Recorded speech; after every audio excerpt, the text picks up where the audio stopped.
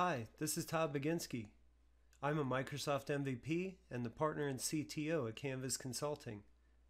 In this Power Apps deep dive video, I'm going to take you on a tour of the Quick Tasks Power Apps sample template and show you how you can list, search, and delete Outlook emails from a Power App.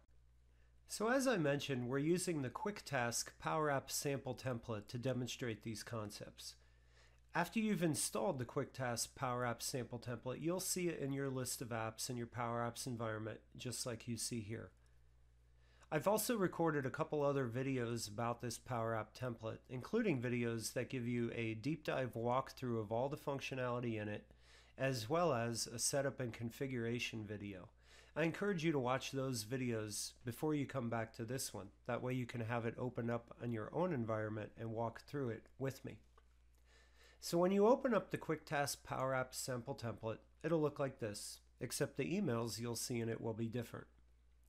Here you can see that this Power Apps sample template is returning the emails from this inbox, info at canviz.com.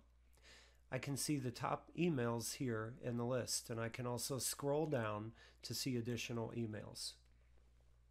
If you want to see how we're actually creating tasks when we create the click the Save button up here, as well as how we're returning plans and buckets and creating buckets, check out the video I recorded that talks about how those things are done. But for this particular video, we're focusing on the email piece of the puzzle. So the first thing we're going to talk about is how to return emails from Outlook and then display them like we have here on the left.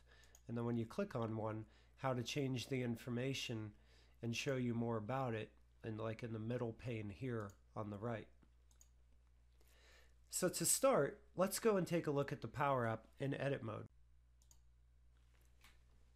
The great place to start to see all the pieces of the puzzle here is the inbox gallery. This control actually displays all of the different emails. You can see right off the bat that the items collection is a collection named emails. That's where all these emails come from. So how do we build that collection and actually return the emails from Outlook? That story starts in the onStart method in the home page. If we expand the code for it, we can take a closer look. The first thing to look at is my domain name variable we set at the top. Essentially, we're looking at the current user's profile and their email address, and then we're splitting it on the at symbol. Then we're going to look at the last part of that split as our result and set that as our domain name. As you'll see, we use that later when we display the user's name, right like you see here in the list, where it has my name above each email on who sent it. Last synced is a variable we use to indicate the last time we went and fetched the emails from Outlook. You can see this particular variable displayed right here, where it shows 2.28 p.m. in this case. The email folder name is inbox. In this particular example, we're always going after the inbox for the user's email account when we return the emails. We're going to skip through these lines of code right here. These are related to the Planner Tasks integration, which I talk about in the other video I mentioned. Getting back to the email piece of the puzzle, the next thing we do is we use a function called clear collect. This creates us a collection called DL addresses. This stands for distribution list addresses. Essentially, what we're doing here is we're going through all of the different distribution lists specified inside of this particular label on the configuration page. Then we're splitting them apart because they're comma separated in the config page and we're putting them into this collection. If we take a look at the config page, we can see here, here is our config page. And this text box right down here at the bottom is the one settings DLs. So this is where a user can enter a comma separated list of different emails that they would like the app to go fetch emails from. Now returning back to the home page here and where we were before, we can notice that there's a drop down list. If you have multiple email accounts configured in the settings page, this drop down list will allow you to filter by each one.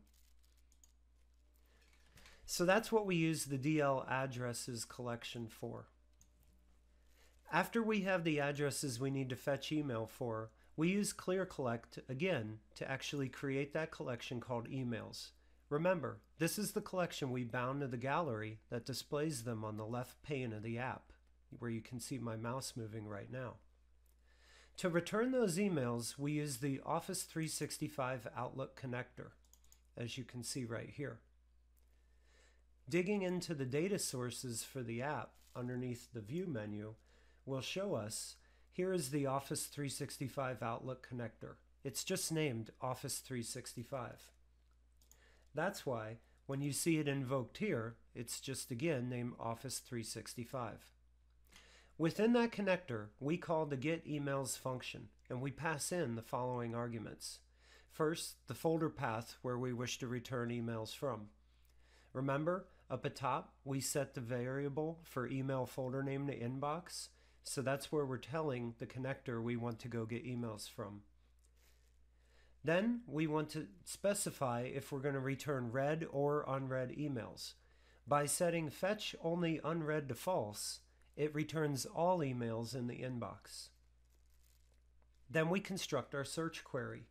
Our search query here is specifying that we want all emails that were sent to the first item in the DL addresses collection and we want to return the email out of that collection. Or we also want to return any emails where the carbon copy on that email was the selected email in the drop down menu up here. Finally, we tell it to return us the top 25 emails. We do this because we don't want to return way too many emails at a time and with the use case in this particular app, the idea is as emails come in, you're assigning tasks for them. So hopefully you don't get behind by 25 or more. This is also done to increase performance in the application by not returning too many emails and taking too long for that payload to come in, be processed, and bound to the UI. After we've done that, we set the selected email to the first item in that email's collection. So that auto selects it for us and puts the green bar on it as soon as the app is loaded.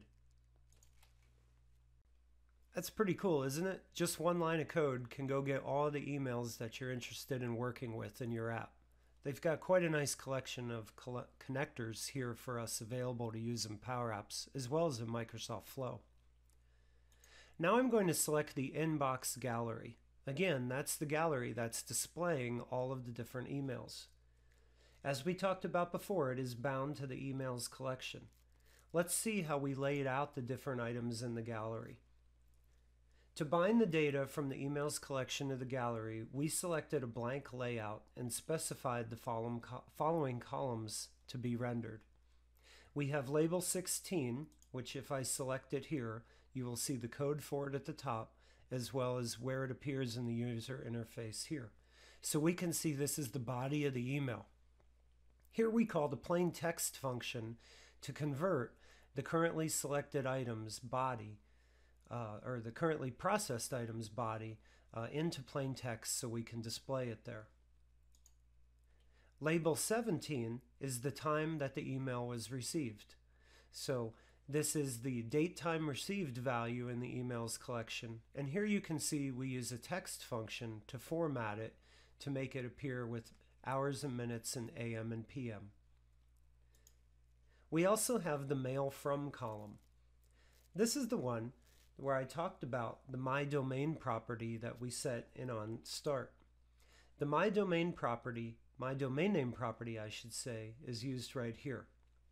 Essentially, what we're doing is we're splitting apart the sender, who this email was from, at the at symbol again, and we're checking if the last part of that split, its result, was equal to the domain name. If it is, then we know that the user who sent this email is also in our same organization. Because the current user has to be a uh, user of the organization with the Power Apps license, we know that then we can go use the Office 365 users connector that you see right here to return their user profile information and we can pass in who the email was from and then get their display name back. This way, we can ensure that the display name is consistent with the user in our organization as they have set it in their user profile. Now, if the user is not part of our organization, then we're just going to display whatever the from was as the email show was shown up uh, in our inbox. Finally, we have the mail title. This one is very simple. This is just selecting the subject as you can see here inside of the email. So that's how we bind up the data in the collection to the user interface. I mentioned the Office 365 Users Connector. If we go into Data Sources, we can see that connector right here. Keep in mind, the name of the connector that you see here in the data pane is always equal to the name of it that you use to invoke it like that when you're writing a function in Power Apps. Returning to the Power App in runtime mode, I can demonstrate to you the delete functionality we have as well. When you click the trash can, it will delete the current email. And then you click the delete button again and the email is gone. Notice that when I click the trash can, I get a cancel and a delete button. This is just one more level of security to make sure you don't accidentally delete the email. So as you can see, I just deleted email 6 and it is gone from my inbox. How do we implement that functionality? Well, let's take a look and take it out of runtime mode and put it back into edit mode. Now I can select the delete button in the top corner here. Looking at the code for the delete button, here we can see the code that makes this happen. This code may look a little confusing at first, but it's actually very good to make a lot of sense and make sure we don't try to delete an email that's already been deleted. The first line of code does a lookup on the deleted emails collection, where the ID of the email that has been deleted in that collection is equal to the currently selected email. If that lookup comes back blank, then we know that this email has not previously been deleted. In that case, we'll use the Office 365 Outlook connector and call the delete email function. We'll pass in the currently selected email's ID to delete it. After we've deleted it, we'll add the selected email to the deleted emails collection. Then we'll remove the selected email from the emails collection. This way, we don't have to do a round trip to the server to get the emails again. We just take it out of the collection and it's gone from the user interface. Finally, then we select the first email in the emails collection and set it to be the selected email. That's why when you delete an email, it selects the next one at the top of the list and updates the user interface accordingly. Finally, we set is deleting to false. Is deleting is a variable that's used to control that little extra level of user interface that displays the cancel and delete versus the trash can button. As you can see, listing the emails and returning them from Outlook and binding them to the user interface, as well as deleting them, is very easy to do in a Power App. We hope you find this inf information useful and that this Power App comes in handy for you, and you can use this to create your own Power Apps as well that interact with email. Thanks for watching the video. I'll see you next time.